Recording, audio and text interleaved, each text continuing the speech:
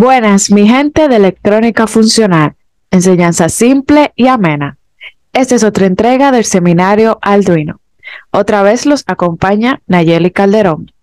En este video explicaremos paso a paso el software donde programaremos con Arduino. Quédate hasta el final del video y no olvides suscribirte y darle me gusta. Les invito a ver el video anterior si no lo han visto, donde tratamos los conceptos básicos que debes saber para empezar con una excelente base para este programa. Primero definiremos algo importantísimo para que entiendas todo lo adelante, que es un IDE.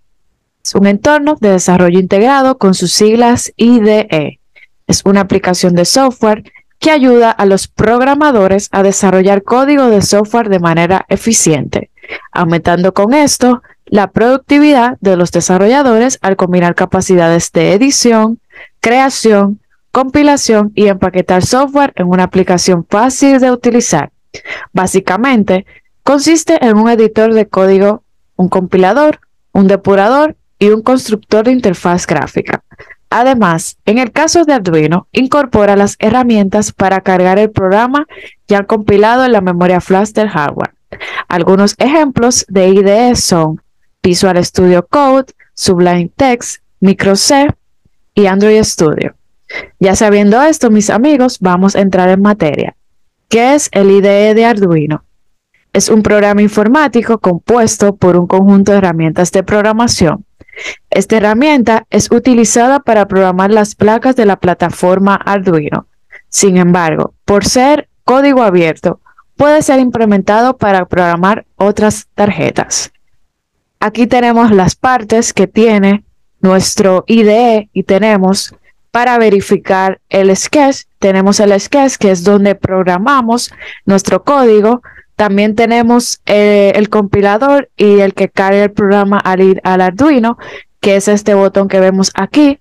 También tenemos para cargar un nuevo sketch. También tenemos para guardar el sketch, para abrir un sketch ya hecho. Y aquí tenemos el Serial Monitor, que es donde nos comunicamos de forma serial con nuestro Arduino. También tenemos la consola de error que aquí nos va a presentar cuando se esté cargando el programa Arduino y también si hubo algún error, pues nos dirá eh, cuál es este y en qué línea se encuentra. Aquí tenemos cómo se ve eh, con nuestro Arduino ya descargado.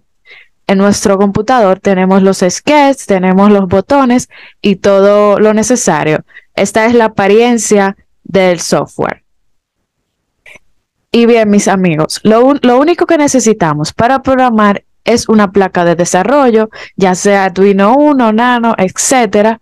También un cable USB y un computador. Bien fácil y sencillo. Para descargar nuestro IDE, lo único que tenemos que hacer es escribir Arduino e ir a la página principal. Cuando estamos en la página principal, nos vamos al apartado de software. Aquí, en el apartado de software, directamente nos da la opción que queremos descargar. Le damos a la opción de 64 bits si tenemos este, esta opción en nuestro computador. Básicamente le damos aquí a descargar, se va a presentar de esta forma.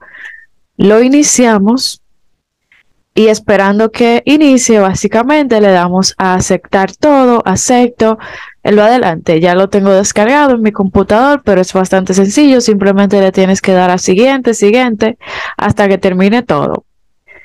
Aquí te, eh, les voy a mostrar un proyecto bastante sencillo eh, realizado con Arduino. Eh, simplemente es un semáforo con tres LEDs solamente de distintos colores. Eh, el color verde, amarillo y rojo. Aquí hacemos una secuencia de estos como simulando un semáforo.